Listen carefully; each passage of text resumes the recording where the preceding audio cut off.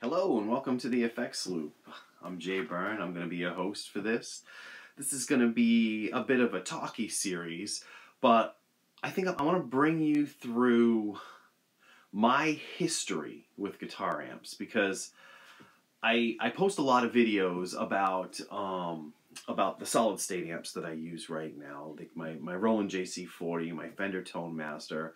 I have a Katana, a 50 behind me. I, I just I just want to get out there that I've got a bit more perspective when it comes to tube amps and other types of amps of other things as well because I've been playing guitar for many years and I've had many amps and I went through a period of time where uh, I was trying to find the right amp because I just wanted you know I wanted something and I didn't know what I wanted. So I was going through that journey that we all go on as guitar players where you're trying to find the right amp. Eh, do you ever really find the right amp? Maybe you don't. Who knows, right? But um so yeah, so I'm gonna I'm gonna I'm gonna give a rundown. I'm gonna talk about all the amps that I've actually had, and I'm holding a list in front of my face right now of 18 or actually 19, 18 amps that I've gone through here.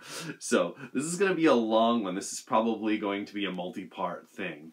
Um, and, you know, I'll work with some photos so you can actually see the amps and stuff as I'm talking about them and whatnot. But uh, this is definitely going to be more of like a podcasty type of thing that I'm doing here. Okay, so we're to start. My very first guitar amp, the first amp I ever had, I was around 16 years old, and this is in like the 90s. I had a uh, Peavey Bandit 65, which those amps have actually gotten a lot of attention over the past couple of years because I guess a lot of steel guitar players and country players like those amps because they have a good clean channel and you can you can get you can use them with pedals and they sound pretty well. I actually wouldn't mind getting my hands on one of those again today and really hearing what it sounds like because I mean I remember it was loud. I also had a friend my my friend Arthur Albanez, um, who I played in a, a, band with, he played a Peavey Renown, I think is what it was called, and it was big. It was a 212, and the thing was loud and crazy, and it just always sounded great. I still have video footage of it to this day, and it's like, it just sounded really good. I mean, I don't know what the deal was with that amp. It was plenty loud enough. It sounded great. It's more along the lines of almost like a Fender Twin, but like Peavey's version of a Twin. It had built-in distortion, and even the built-in distortion wasn't half bad at like I think it's because we played so loud at loud volumes it really wasn't bad at all. So that amp was that was our our PA system, our microphone amp for a while. It it was everything. I mean that thing got beat up. We I mean I actually finally lost that amp because I brought it to a friend's house for rehearsal and I ended up leaving it there and then we stopped talking to that particular person for a while. You know, kind of had a falling out and um, I, I never got my amp back and I, I called to get my amp back and he gave it to somebody else and I just said the hell with it because the thing had problems the knobs were all scratchy and it just it just it, I think I, there was I think there was some issues with the speaker and there might have been a tear on the speaker or something like that or I don't know the, the thing was falling apart at that point. But um, I beat that thing up and I didn't get it new I got it used, and I don't even know when my parents got it. My father bought it for me. I have no idea where he even got it from. So, so that was number one. My very first amp with Peavey Bandit 65, and looking back on it, it was a decent amp. It had a terrible distortion. The distortion channel is awful. I mean, it's on level with uh, everyone talks about the jazz choruses having crappy distortion. This this had crappy, crappy distortion, very crappy distortion.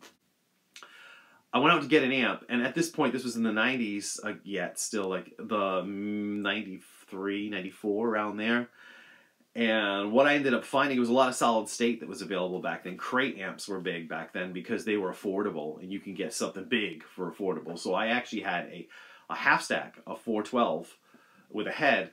I had a crate half stack, and it was a uh, it was a crate GX 600 head and a 412 cabinet. It said Celestion equipped. I honestly couldn't tell you what the speakers were in it. I never opened it up. I don't know what they were, and I sold the amp years later. So, but I played that amp for quite a few years. That was like my main amp for a very, very, very long time. and uh, I used that amp when I was in a band called Room 18 in the late 90s, going into the 2000s. That was my head in my cab, and I mean, I just kept that thing forever. I kind of wish I still had it, to be honest with you, because it was a good amp. But like most amps, that it started to develop some issues. It had some problems, like you know, that it used to cut out randomly. And I've I've been reading about these crate amps from like the uh, from the 90s and that seems to be an issue that people have. The amp would like cut out, like the sound would just cut out for some reason. Like something was crapping out inside the amp, and I don't know what it was. But it was a head in a cabinet, a crate head in a cabinet, and it was a decent amp. I mean, at the time, you could get a really good. It was good for like heavy metal because you could get a very good heavy metal distortion. It kind of had a a pumpkinsy, a smashing pumpkinsy kind of metally sound to it. I mean, I, I, I just that, that was the type of music that I played at the time. I was in a three piece. It was me, a bass player, and a drummer, and it was called Life Drain. And that I mean, it was plenty loud enough, and it distorted, and it sounded good. And I think at the time I had like three pedals. I had like a flanger, a chorus, and a chorus, and maybe a distortion pedal. But I never used that because I used the amp distortion back then. So the third amp that I ever got uh, after the whole, I was in the band called Room 18. I made a documentary about that. You could watch it on the Roadkill Entertainment channel if, you, if you're interested.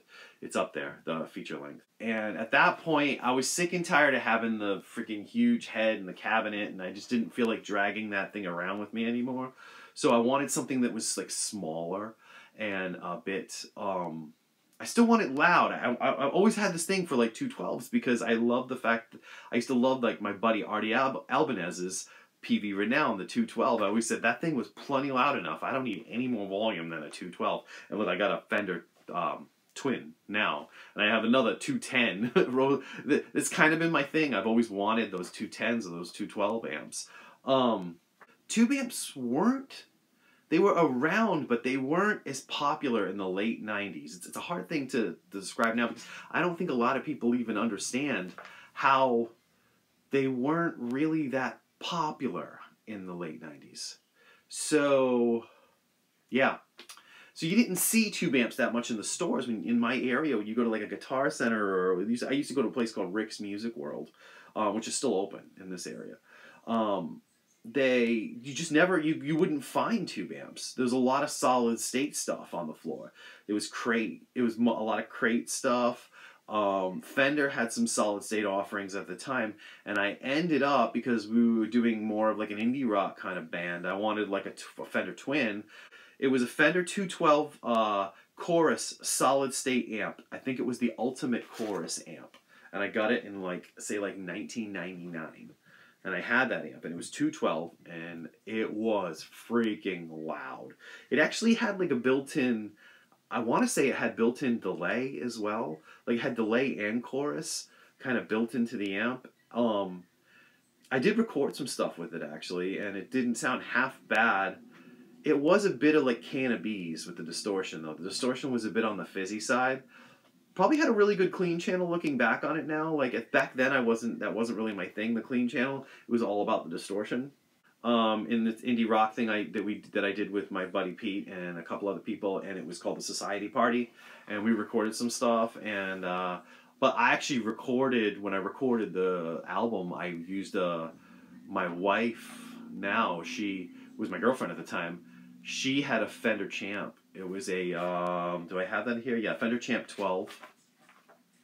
So I had that around the same time, and I used that a lot. That little Fender Champ 12 it, that was actually tube, which was actually a good little amp. The red knob Fenders, uh, Fender Champ 12. At that point in time, that's what I had available to me. I had those two amps. I had the Fender Ultimate Chorus type 212 type thing, and a Fender Champ.